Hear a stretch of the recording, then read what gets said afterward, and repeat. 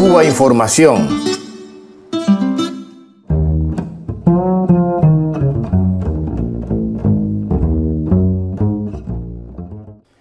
Llueve hacia arriba, la gallina muerde al zorro y la liebre fusila al cazador.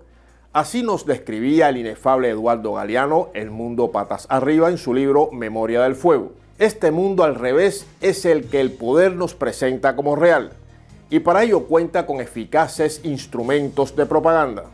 Hace unos días, Ben Ruth, asesor directo del presidente Barack Obama y consejero adjunto de Seguridad Nacional, sostenía en Miami un encuentro con un seleccionado grupo de la emigración cubana.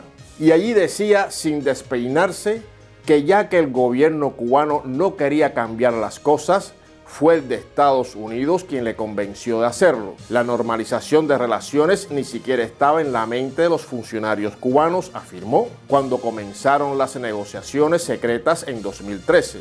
No cabe mayor grado de cinismo, porque si es cierto lo que algunos dicen que Ben Roth es uno de los expertos mejor informados de Washington, debe conocer a la perfección los intentos reiterados de La Habana por dialogar con Estados Unidos desde hace más de 50 años.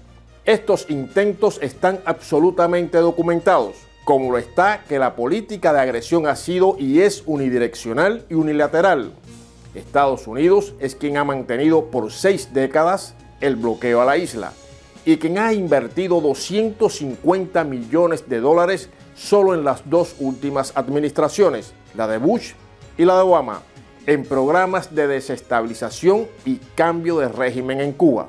Pero, ¿qué más da? Porque las contradicciones y absurdos en el discurso sobre Cuba de los funcionarios de la Casa Blanca, incluidos los del propio Barack Obama, son cuidadosamente adesentados por los grandes medios de comunicación a su servicio, que son en verdad la poderosa máquina creadora del mundo patas arriba.